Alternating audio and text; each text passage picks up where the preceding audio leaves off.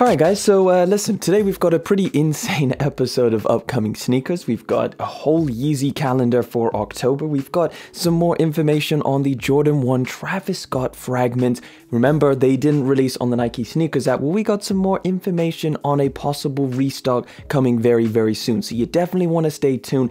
But first, of course, we got to get into a release recap, which is not going to take long at all because there was hardly anything that dropped this weekend. In fact, this is the only thing I got this weekend. So why don't we just quickly check this pair of sneakers out together.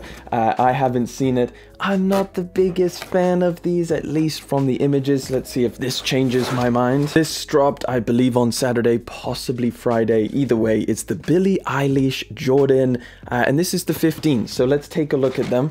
Let's see, you get some special paper, some brown paper, and uh, here they are. So this is the only sneaker I managed to get over the weekend. Either way, let me know if you guys want to see a review or something on the Billie Eilish Jordan 15. But either way, these are going back in the box because we've got a lot to talk about. Oh, also real quick, the Yeezy Knit Runner. I did get these in hand. There is a full review of these insane sneakers up on the channel. So if you guys want to do me a favor, go and check it out. Drop a like on the video. These are insane and obviously I give my full thoughts and opinions on these crazy, crazy sneakers. Either way, the review will be in the description if you want to check it out. But let's get on to these upcoming sneakers. All right, so on the subject of Yeezys, we have the full October calendar. Yeezy brand has planned a great month ahead. Some of these sneakers were pushed back from last month. Again, we're still feeling the effects of all of these delays uh, from Yeezy and Jordan and Nike and Adidas. Just all of them are getting pushed back. So either way, let's get into the October calendar. This is what what is set right now. However, again, these are all subject to be delayed. So let's start off with the first one, which apparently is going to be dropping tomorrow on Monday. Uh, that's the 4th of October. However, it's also slated on different places to drop on the following Monday, so the 11th of October. This is called the Miststone colorway. We saw Kanye wearing this. Either way, um, it's a very, very clean. In fact, this may be my favorite colorway of the Yeezy 500 High. It's a solid, solid option now, if this does drop tomorrow, it will be on the confirmed app as kind of a shock drop. It will just appear either tonight or tomorrow morning. And then on uh, October the 16th, we have the Wash Orange Yeezy 700. I gave you guys my opinions on this last week. It's nice. It's a very, very clean colorway. Like, I'm not going to say it's bad, but I'm just kind of, again, I begged the question of, do we need these? I mean, we got the Wave Runners recently. Do we need a Wave Runner upper with an orange midsole? I don't know, it could be cool and I think that it's still going to be popular. I just managed to get the Wave Runners so I don't really think I'm going to be needing these. Either way, they are apparently dropping on October the 16th. A new Yeezy 380 which we haven't seen in a while. So this is the Pirate, apparently Pyrite, something like that. October the 18th is apparently the release date for this one. Also apparently going to be dropping on the 18th of October. I guess they're both going to drop together. The 18th, is that a Monday? I believe it's a Monday, so it might just be the shock drop style that Adidas is getting used to. And then we have the MX Oat apparently on October the 23rd. So we still haven't seen the MX Rock, which apparently was supposed to be dropping in September. That's the kind of all over black one. But apparently we're getting the, uh, the MX Oat. This is the very colorful, very, very colorful pair of the mixture version of the Yeezy 350, again October the 23rd. The highly anticipated Yeezy Foam Runner Vermilion, the Red Octobers, is uh, apparently going to be dropping in October, as it should. This one, I hope doesn't get delayed, because that will kind of go against the whole Red October thing that they've got going. So yeah, no exact date for this Vermilion Foam Runner, but again, October, I would be very surprised if they got delayed, because again, it would ruin their plans for a Red October Yeezy. And that is pretty much what is going to be dropping this October for Yeezy brand. Now, we also got a new Yeezy 350 that was revealed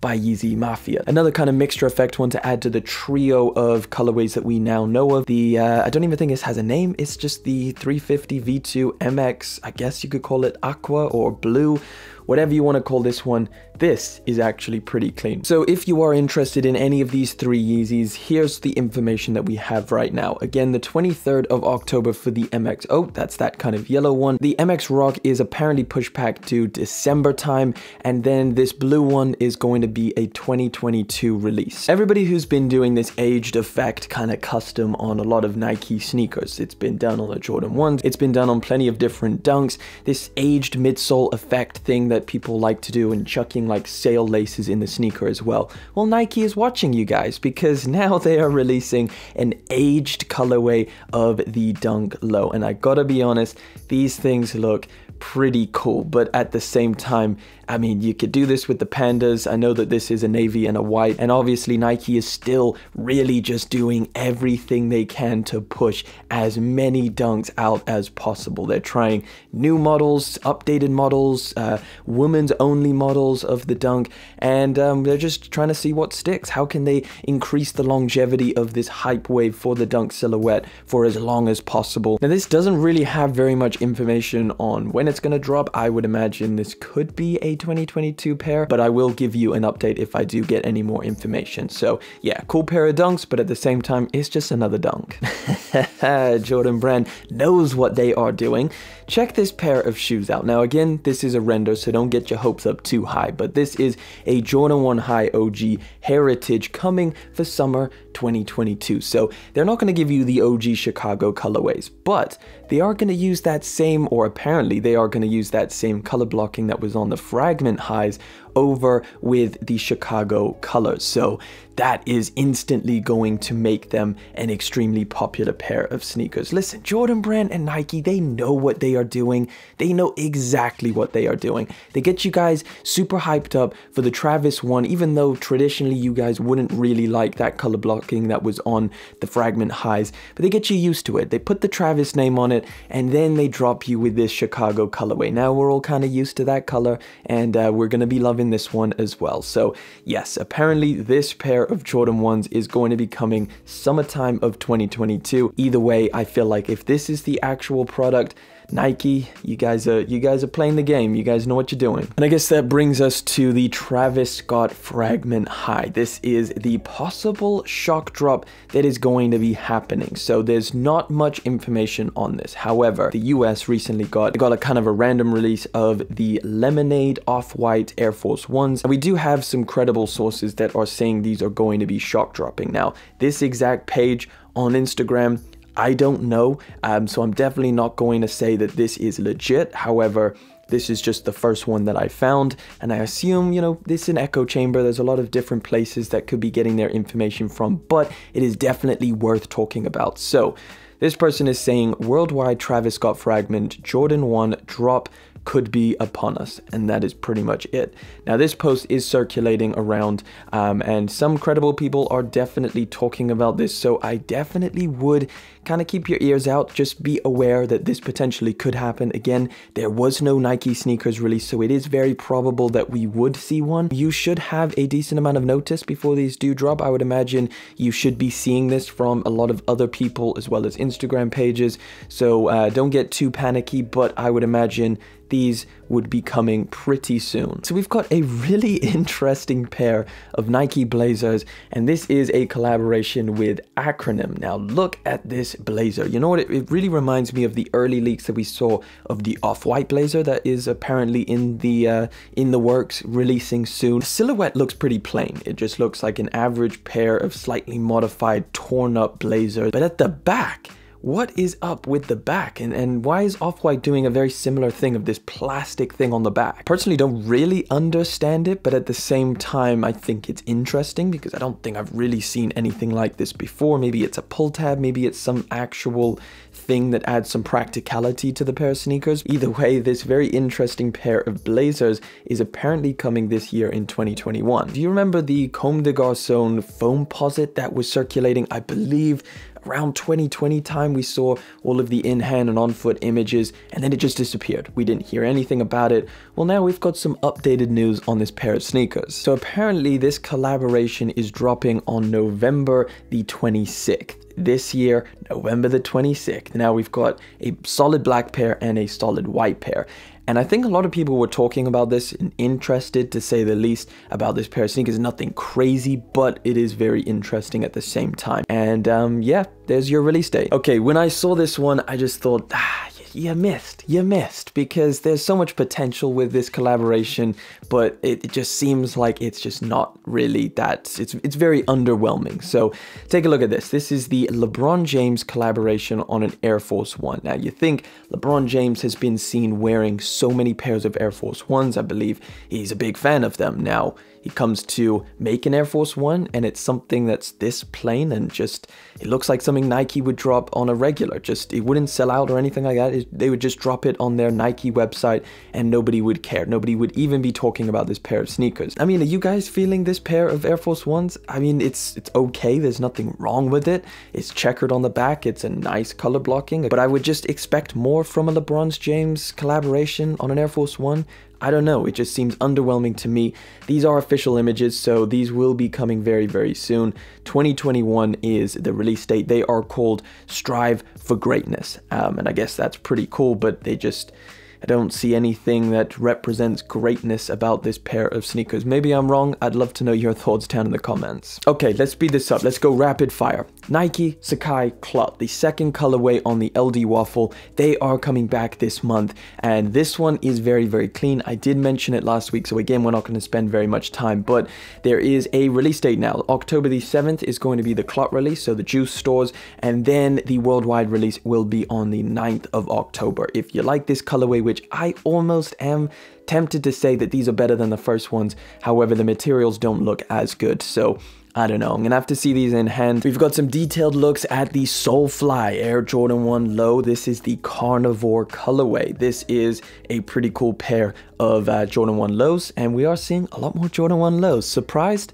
No. So this pair of sneakers has been teased uh, for a while now and we finally got some on foot looks so I did want to show you guys. Apparently the release date is December 2021 so pretty much right around the corner. So this looks very interesting. A lot of different patterns and materials going on. It's not my favorite Jordan 1 by any means. We're going to keep it moving to Drake and Nike with their underwhelming Nocta collaboration with this pair of hot steppers. This is apparently going to be releasing this month. We have official images. It's again an underwhelming silhouette in my opinion. I don't mind it at all. It's an interesting model, but of course with someone as big as Drake attached to it, it seems underwhelming to say the least. Now something a lot more interesting is the New Balance Salehe Bembury, and this is called the Yurt. They're doing a whole range of clothing and different colorways of this New Balance silhouette. The Yurt, which is very interesting name. It's kind of cool to say, Yurt. And um, it has a whistle on the back, believe it or not. It's a shoe with an actual functioning whistle that you take it off your foot and you blow and it and it makes a whistle sound. I think it's fun. I like that. It's it's interesting. There's something going on with it. You know, I think that that's really cool. New Balance Salehe Bembury has been doing some really cool things. Um, it's an interesting silhouette. It's not it's not my favorite, but at the same time, like it's interesting enough for me to really kind of want to check it out. Um, there's this kind of tan one, probably my favorite. That's a nice earth toned color. It looks rugged. It's a nice silhouette. Um, and then this gray one, in fact, this actually might be my favorite. I take that last one back. This one is my favorite. Predominantly gray, a lot more New Balance. So yeah, again, these are releasing in 2021. There has been a lot of promo by New Balance and um, Salehe Bembury himself, so I would imagine these are coming very, very soon. Supreme is not done yet. Even though you may think the hype is dying, they're coming out with a Shox 2, a Shox Ride 2 for that matter.